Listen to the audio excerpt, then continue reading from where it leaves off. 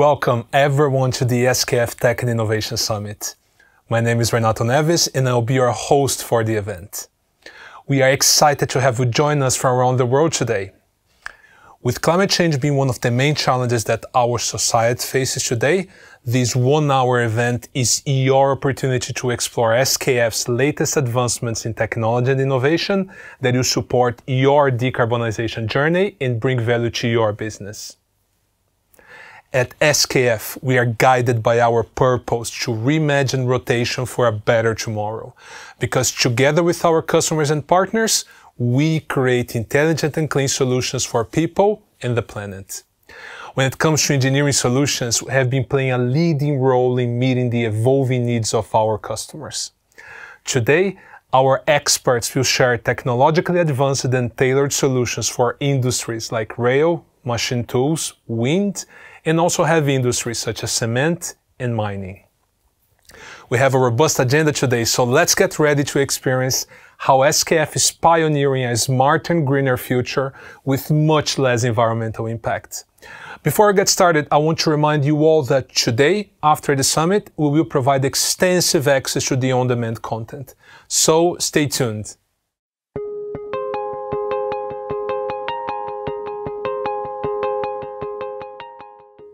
To start the summit, I would like to invite SKF Group President and CEO Rickard Gustafson and CTO and Senior Vice President Technology Development Annika Ölme.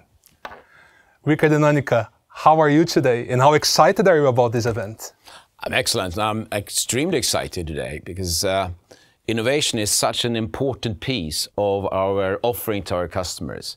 We built this company on a strong heritage of customer-driven innovation, and we need to continue on that journey and also now showcase it in a broader way. I find extremely energizing and exciting. Hmm.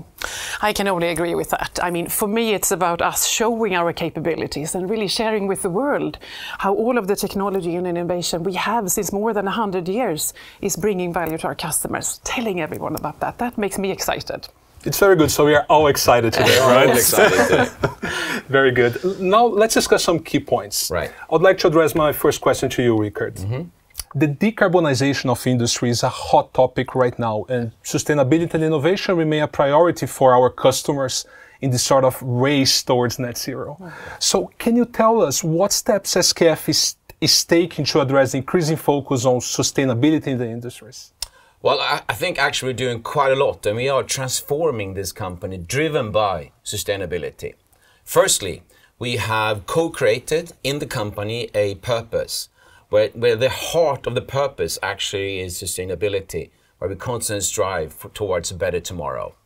And that purpose rests on the strategic framework that we call intelligent and clean growth, where all sustainability is the cornerstone and foundation for that framework. So today, I think we're very pleased to say that we don't have a sustainability strategy, but we do have a sustainable strategy, and that's a key difference. Yeah, that's fantastic to hear, Rickard. I mean, what I really like about that is that in the end, everyone is going to win, right? Because yeah. at the same time that we're going to help our customer become more sustainable, we also become more sustainable and remain competitive as well. Agree. Mm. I have one for you as well, Annika. As technology evolves quickly, what are your thoughts when keeping up with the latest technology advancements at the same time that we need to deliver our existing commitments? Hmm. Very good question. We have to be able to, to keep two thoughts in our mind yeah. here. And we have to work with customer-centric innovation that really delivers something new and something valuable to our mm -hmm. customers. And in two ways. So first of all, we have to use all of our technology and innovation to improve our existing products, to be the best, always be the best. The second part is bringing new technology, and new innovations, and really new products, breakthrough things to our market. So we have to do both. You talked about intelligent and clean, yeah, Rickard, yeah. and intelligent and clean is a part of both of those. Yeah. Intelligent solutions, using AI, machine learning to really deliver new breakthrough things, predicting the future in our customers' application. But also clean. How can we have low CO2 products, energy efficiency, low friction, really fight friction? Yeah. So we have to do both. Yeah, very good. Mm. I mean, what I what I, I really liked is the you know, customer-centric innovation aspect of our development. Mm. Because in the end of the day, it doesn't really matter if you are improving an existing product or if you are creating new ones using a technology step up. It is all about solving a customer problem somehow. Yeah. Agree. Since we focus into that, then everything works well. Yeah. Fully agree with you. Yeah.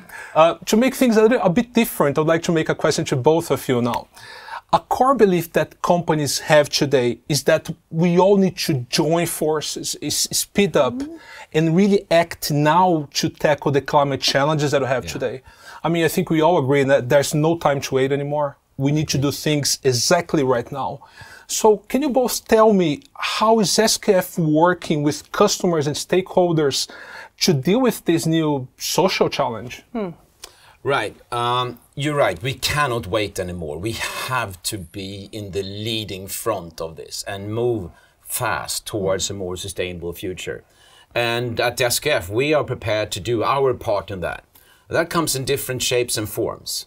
Firstly, we have set very aggressive and ambitious targets for ourselves. We will be net zero in our own emissions, scope 1 and 2, by 2030 in that regard, I think you know a lot of that it's out within our own hands. We can do it. We can do the investments needed to replace uh, some of the energy sources to renewable energy sources in our entire footprint. So that is ongoing. But then we need to have more ambitious targets than that, and we have. And we said by 2050 we need to be net zero in the entire value chain, also scope three upstreams. And then that's something we know we cannot do on our own. There we need to collaborate. There we need to engage with some of our suppliers. To, it's primarily regarding to steel to ensure that we get access to uh, green steel. That's going to be key. So, regardless of a slice and dice this, we know that we have a lot of to do on our own shoulders. We have a lot of you know, responsibilities.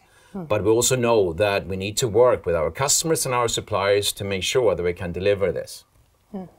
And I think it has both to do with actually how do we support the clean industries that are emerging, right? You know, and but also how do we have clean offers to all industries because yeah. everybody is on the same journey as we are, yeah. and we have to work together. Um, it's something we cannot solve alone. It's an urgent issue for the world, but we are really committed. Yeah. Yeah, no, very. I mean, for me, that is really inspiring, if I could say, right? It's really motivating, mm. because I mean, it really it shows that to SKF is, is a lot more than just doing business, right? Yeah. It's really taking care of the people and the planet as well. So that's very mm. motivating as well, I need to say. And mm. the good news is there's no contradiction in that. We can do good yeah. things and do great business. Exactly. And do better for the planet, planet and the people. So yeah. that's pretty exciting too. Mm. Yeah, that's very exciting. I think along this summit we're going to see many examples of this Indeed. in real life. Yeah. And but at least my final question, at least for now, right, is to you, Annika. Um, as a CTO, what are your thoughts on the role of innovation improving sustainability? So technology and innovation is absolutely required for us to be able to tackle our sustainability challenges, but also our customers. So if we don't for, be, or if we are not forward in our technology in our innovation, we will actually fail on this sustainability challenge. So it is such an important part of it. And sustainable materials, you mentioned steel, yeah. Rickard. This is a key thing. We have to work with our suppliers yeah. to ensure that green steel is available and also green lubricants, other yes. materials that yes. we use, and also manufacturing technologies that are clean. So that is really at the forefront of technology and innovation in this context. But also I would like to mention circular solutions, working with the full value chain with suppliers and customers to True. bring circular solutions like remanufacturing yeah. into the market. That is another way to actually avoid waste. Correct. And innovation, low friction, we are fighting friction to really have mm-hmm. energy efficient solutions. Yeah. That is also really important because we know that 20% of the world's energy is actually used to reduce friction. So we can really make an impact there. We can. Technology and innovation is what enables sustainability in the end. Yeah. Thank you very much, Annika. I mean, I need to say that you touched once again on my weak spot in that sense, because I mean, as a person working with innovation actively in SKF, yeah. I mean, for me, it's great to see that innovation is key to deliver this more sustainable future to us. Hmm. So once again, I think we are all very excited about this. We are, yeah. So thank you very much, uh, Annika you. and Rickard. Thank you. Thank you. Now it's time to get to the heart of the event. Throughout the event, you hear directly from our experts and gain insights into our innovative solutions designed to cover a wide range of customer needs in different applications and markets. These solutions are intended to reduce downtime, minimize maintenance costs, reduce noise impact, and enhance operational efficiency, all while helping our customers achieve their business and sustainability goals. One major highlight of today is the launch of our Extreme Super Precision Bearings platform, intended to develop customer-specific offers for increasingly demanding application. Our first product is a solution for the rail segment, which is an essential part of our transportation infrastructure, providing efficient and sustainable travel for millions of passengers daily. As the industry evolves, improving passenger comfort and acceptance from communities remains a top priority for train operators. For SKF, these priorities are not different. This segment is crucial to us as it aligns with our commitment to deliver innovative and reliable solutions that drive progress and sustainability. Let's hear now from Francesco, our expert in condition monitoring, as he showcases an innovative approach to crack down rail urban noise and to remotely monitor tracks and train conditions, addressing the main challenges for rail operators. Up to you, Francesco.